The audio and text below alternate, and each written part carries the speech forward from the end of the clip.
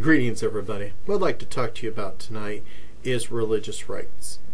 If you are a non mainstream believer, your religious rights could be in danger. The United States says that we have a freedom of religion, but that is also a freedom from religion. There are certain Christian groups that are trying to slowly chip away at the understandings in the Constitution we have groups like WallBuilders who want to say that this nation is a Christian nation. And you are free to be whatever form of Christian you want to be. And that's wrong. What we need to do is to work together.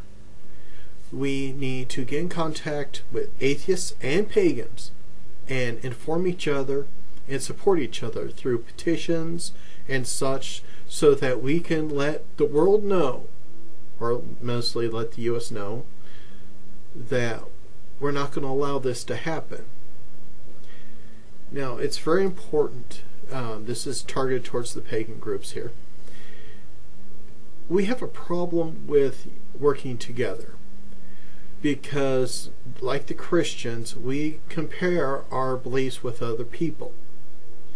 You know, you have the Norse versus the Celtics and Hex, and such. We can't afford this.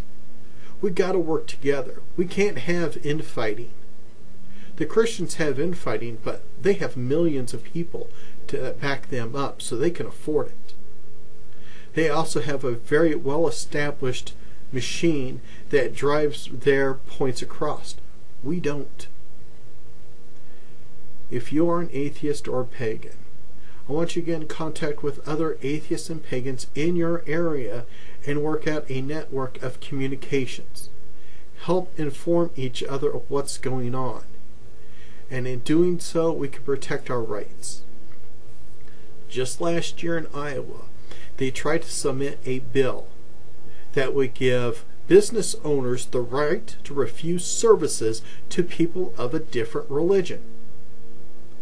Do you know how scary this is? If somebody finds out that you're an atheist or a pagan, you can try to go buy groceries and the person can say, No, I don't have to serve to you. Leave. We can't hand, we can't have this happen.